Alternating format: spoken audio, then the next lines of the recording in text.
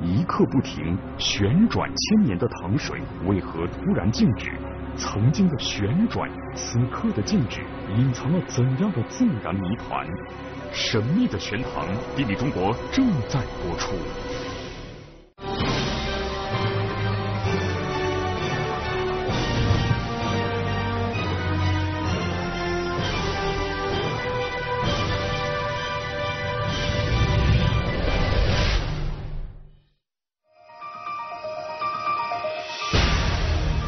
欢迎收看我们今天的《地理中国》节目，我是盛春。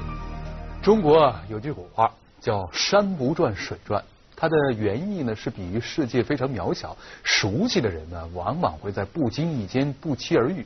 同时呢，这句话也说明万事万物都是运动、变化和发展的。在我国贵州省的中部啊，有这样一个地方，当地老百姓认为呢“山不转水转”这句话或许就是出自他们的家乡。因为那里呢有一个神秘的水塘，千百年来啊，水塘周围的山峰岿然屹立，而水塘里的水却一直在不停的旋转。但是不知道从什么时候开始，也不知道究竟是什么原因，这个神秘水塘里的水慢慢的不再旋转。这个奇异的变化引起了许多专家的好奇，这究竟是一个怎样的水塘？水塘里的水又发生了怎样的变化呢？在中国西南贵州省安顺市的群山深处，距离贵阳一百一十六千米的地方，有一个神秘的水塘。几年前，一位摄影爱好者在无意间拍到了一段关于这个神秘水塘的视频资料。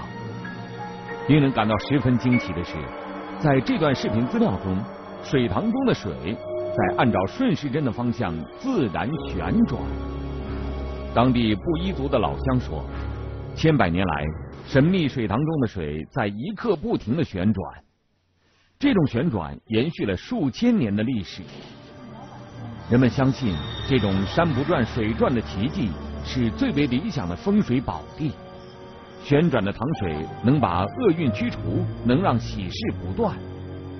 不仅如此，当地村民还发现，在神秘水塘的东北方有一座大山，呈现出了神佛的形态。这座酷似佛像的山峰与旋转的塘水一起，保佑了那里的居民千百年来平安幸福，免受灾难。于是，这里成为了布依族人千百年来守候的世外桃源。这个水塘也被布依族人命名为玄塘。然而，不知从什么时候开始，这个传说中旋转的水塘竟然不再旋转。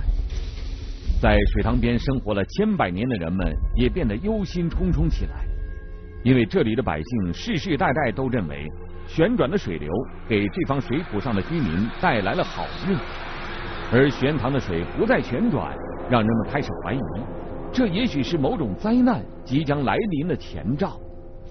一种莫名的恐慌在山村中开始蔓延。现在不行了，一时间，神秘的水塘变成了一个让人费解的地方。塘水的变化让村民们感到非常不安，尤其是最近几年，在玄塘所在的贵州省中部，曾经发生了多次泥石流灾难，这使得村民们开始对玄塘的变化产生种种猜测。有人说，塘水不再旋转。也许预示着这一带可能要发生地震，也有人说塘水不转是大洪水来临的先兆，甚至还有人说玄塘的水可能已经被彻底污染，人畜都不能饮用。这些传言让原本平静的山村终日被不安的情绪所笼罩。那里究竟发生了什么？神秘的玄塘又隐藏着多少待解的谜题呢？为了一探究竟，地理中国摄制组来到了距离贵阳一百一十六千米的贵州省安顺市南郊，找到了传说中神秘的水塘玄塘。当我们来到玄塘边上，近距离进行观察时，我们发现，眼前这个水塘面积并不算大，呈现出相对规则的圆形，直径大约八九十米。清澈的塘水像一面明镜，将周围的山峰倒映其间。微风吹起的阵阵涟漪在水面上晃动，给玄堂增添了一份别样的情趣。圆潭、群山，隐约呈现出佛像形态的山峰，这里的确符合古人所谓风水宝地的地貌条件。那么，这个水塘中的水以前真的会自行旋转吗？摄影爱好者拍摄的视频资料又是否真实呢？当地的村民告诉我们，就在一年前，水塘并不是现在这番模样。一一直在转，从我们懂事来都都在现在的。因为老老人家说，从小我们呃就这个塘就是转的。摄制组接连走访了几十位村民，出乎我们意料的是，所有被采访的村民都众口一词，他们说，这个水塘里的水曾经一年四季不分昼夜的旋转了不知多少年。尽管村民们言之凿凿，但是记者依旧怀疑这种传言的真实性。那么，玄塘旋转究竟只是当地人的一个美丽传说，还是确有其事？带着这样的疑问，记者再一次回到了玄塘村。在这里，我们想方设法找到了那段视频资料的拍摄者张先生。张先生的家就住在玄堂附近。他向我们讲述了拍摄那段视频时的所见所闻。我来的时候，那个水啊，就顺时针转的相当快的，那个中间还有形出那么大一个漩涡出来。当我们将那段视频的播放速度提高五倍后，这种有规律的水体旋转运动更加清晰的呈现在我们面前。张先生告诉我们，这段视频是自己两年前拍摄下来的。视频拍摄者亲自向我们述说了一年前他看到的奇异现象。从一年前开始，村民们发现玄塘的水流旋转的速度开始越来越慢。一开始人们并没有在意，直到有一天水塘再也不转了，人们才意识到以前大多数人司空见惯的景象可能一去不复返了。于是才有了当地百姓各种各样的猜测和传言。那么，从前玄塘里的水体为什么会自行旋转？而到了今天，它又为什么逐渐停止了旋转呢？这样的变化又是否真是某种灾难来临的前兆呢？奇异的玄塘究竟为什么会发生旋转？又是什么原因不再转动？这一切都让人感到十分费解。摄制组呢，经过一番调查后发现啊，在我国其他几个地方呢，也有水流自行发生旋转的情况，而那些地点水流的旋转，基本上与当地的小气候有着一定的联系。我们的记者注意到，玄塘实际上处于云贵高原的腹地，周围呢都被山地和峰丛环绕着，而当地人也告诉我们，正因为有了这些山峰，所以这里夏无酷暑，冬无严寒，一年四季温暖如春。那么，是不是山地曾经的小气候导致了玄塘的旋转？又是不是现在某些气候因素发生了变化，使得水塘不再旋转了呢？为了揭开玄塘是否是因为气候变化而不再旋转的谜题，贵州省气象局山地环境气候研究所的古小平博士来到了这里。到达玄堂后，考察队首先对玄堂所在的山地环境进行了仔细观察。吴小平告诉我们，虽然玄堂对面的山体形似一尊佛像，当地百姓都认为塘水旋转与神佛庇佑有关，但就科学意义而言，山体呈现出人类的形态只是自然界的一种巧合，这与玄堂里的水发生旋转没有任何关系。吴小平开始用科学的方法对玄塘周围的山进行测量。看看周围的山峰究竟有没有影响糖水发生旋转的因素。他发现玄塘的位置处于一个小盆地的中央，它的四周都是相对高差三百米左右的山丘。这样的地形与玄塘曾经的旋转是否有关联呢？当古小平博士测量玄塘东北方向的山峰时，他突然发现这一带的山峰。与其他方向的山丘不同，山岭中部存在着一个状如马蹄形山口。这种形态的山口会导致这深不见底的潭水发生旋转吗？第一感觉呢，就是这个风呢是从这个口，这个比较大的这山口进来，由于气流的运动，可能会带动这个水体的变化。胡小平博士告诉我们，之所以会有这样的推测，是因为这种马蹄形的山口在数百千米之外一个叫列塔湖的地方也同样存在。而列塔湖里也时常出现水面旋转的情形。列塔湖位于我国四川省西部，是一个面积只有二点五公顷的高山湖泊。从上世纪九十年代开始，时常有人看见列塔湖的湖面会莫名其妙的产生奇异的漩涡，漩涡不停的在水面来回游走，有时会把整个湖水搅得翻滚起来。列塔湖的漩涡引起了科学家们的关注。经过考察，科学家们发现，这种漩涡的形成与列塔湖的地形有关。白天，列塔湖受日光照射，湖水表面温度逐渐升高，靠近湖面的热空气上升，而列塔湖的地形结构使得大量冷空气从马蹄形的山口加速进入湖泊上空，于是。湖面的热空气与高空的冷气流在湖泊上空相遇，两股温度不同的气流形成了强烈的对流现象。这种现象在湖面上产生了旋风，旋风带动水面，就形成了列塔湖中游走不定的漩涡。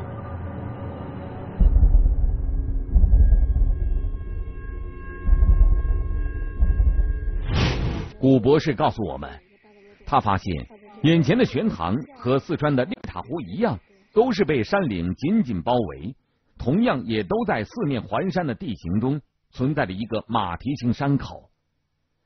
狭窄的马蹄形山口会使吹入盆地的冷气流突然加速，形成我们常说的峡谷风或穿塘风，在科学上被称作峡管效应。那么，玄塘里的水曾经自行旋转。会不会也是冷热空气的对流造成的呢？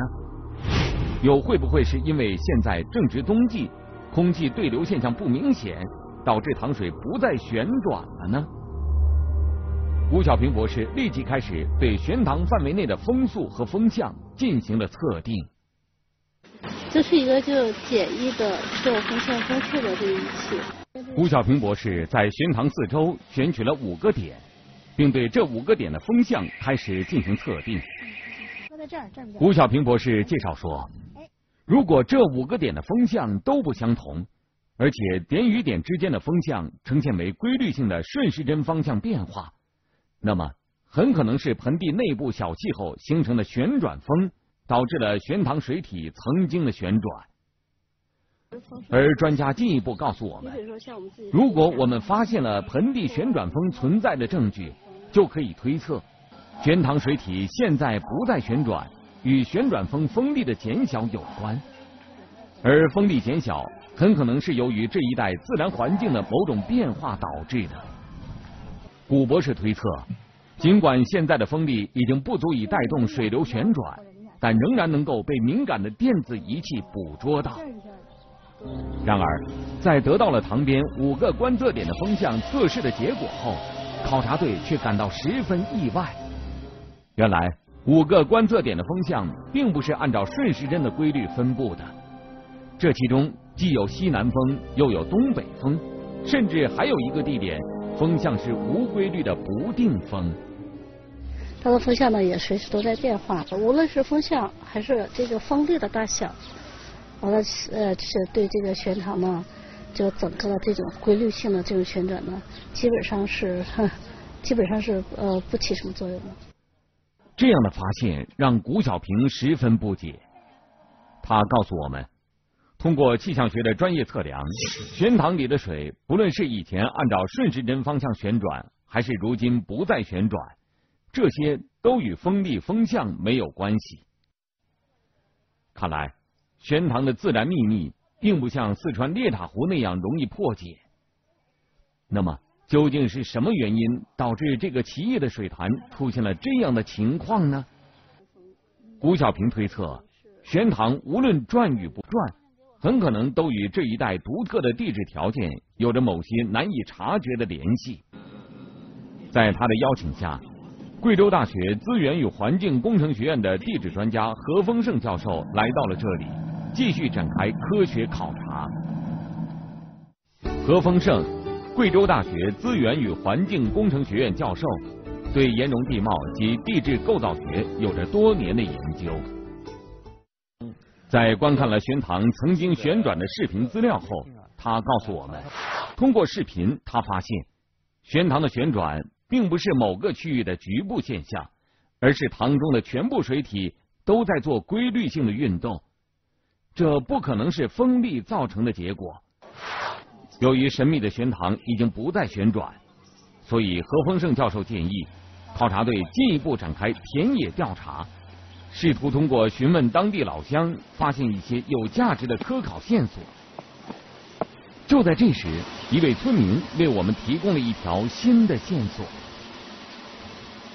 还有一个老人嘛，在山上亲自看到这个塘中间嘛，它有像那个大门的一对红鲤鱼。酒鬼老坛馥郁香，提示您精彩继续。神秘玄堂一波未平，一波又起。气象监测未见异常，奇异线索又浮出水面。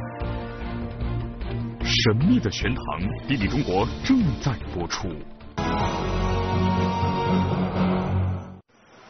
门板大的鲤鱼让整个塘水发生旋转，当地村民的这种说法让我们感到十分新鲜和好奇。何教授告诉我们，在海洋中，当鱼群遇到低温洋流的时候，确实会采取抱团游走的方法对抗洋流。而且，大型不明水生动物在我国一些偏远地区的确曾经出现过。在新疆的喀纳斯湖，人们曾经发现过红棕色的奇异身影在水下时隐时现。经过考察，这是一种极其凶猛的大型鱼类——折罗龟。但是何教授告诉我们，那些大型鱼类一般都生存在规模较大的湖泊或者河流中。而玄塘的规模显然难以保证大型生物的生存，但是村民们却对塘中有大鱼的现象言之凿凿，十分肯定。于是何教授建议考察队对水塘中的生物展开一番详尽的调查。然而，令我们没有想到的是，走遍了整个村落。这里竟然没有一张渔网。那有没有渔网啊？啊？有没有渔网？捞鱼的渔网？没有啊。没有渔网。啊。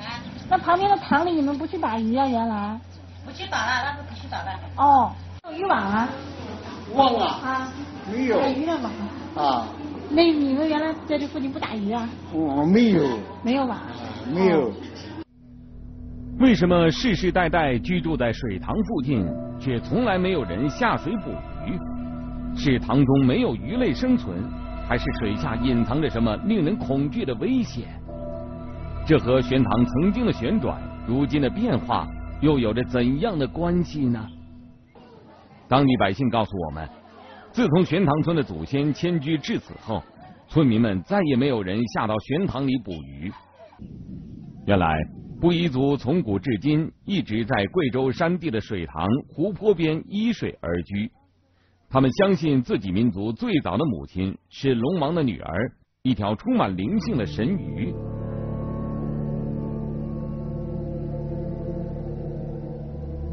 而玄塘边的村民们一直笃信，这个会旋转的水塘正是布依族的母亲龙女神鱼的住所。因此。为了不打扰到龙女神鱼的生活，这里的百姓世世代代都不到水塘中捕鱼。这一次，听说何教授是来破解玄塘谜团的专家，村民们破例同意我们在不伤害水生动物的前提下向塘中撒网。他们从十多千米外的村子为考察队借来了一张小型渔网。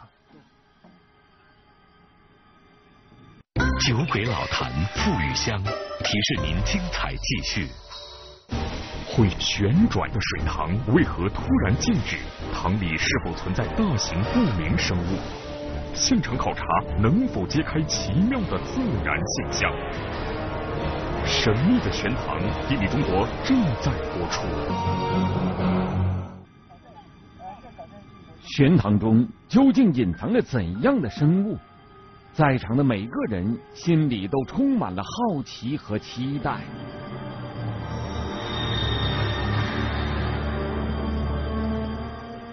去看看有鱼没有，就这个意思。然而，出乎所有人意料的是，考察队在玄塘的不同位置连续下了三次网后，惊讶的发现，网中没有任何鱼类的身影。偌大的水塘竟然没有鱼类，这让何丰盛教授感到有些难以置信。难道这里的水根本不适合生物的生存？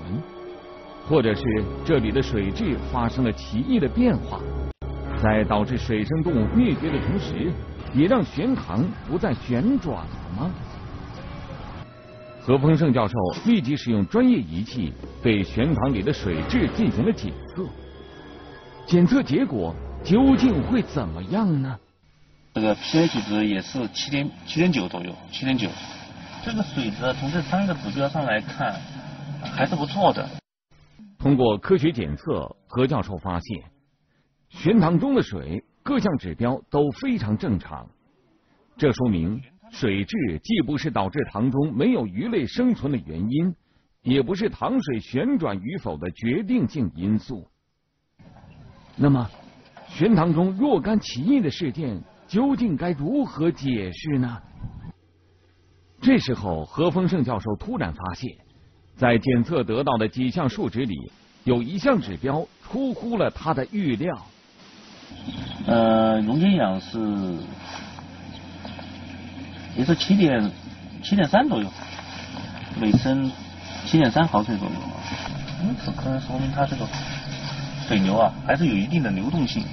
由于它的溶解氧在正常河流的流水范围内。何教授解释说。溶解氧饱和度是指水体中的氧分子的含量。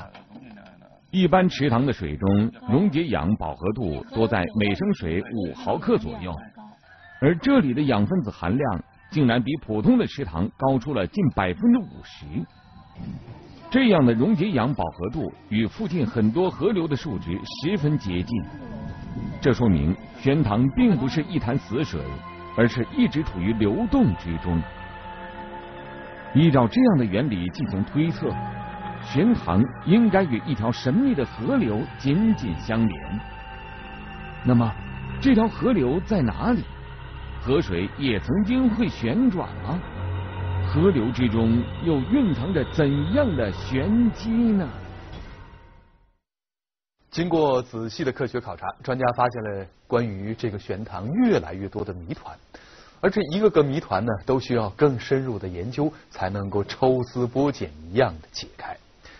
何教授告诉我们啊，要想解开玄塘为什么曾经旋转，又为什么停止旋转，以及玄塘中没有鱼类生存的谜题，就必须扩大考察范围，将目光呢投向玄塘四周，方圆几十千米的大山之中，也许只有对整个地区的地形地貌和地质条件进行整体考察，才能破解。这个池塘的自然玄机，在明天的节目当中呢，我们将继续展开对玄塘的科学考察。好，感谢您收看我们今天的地理中国节目，我是盛春，明天见。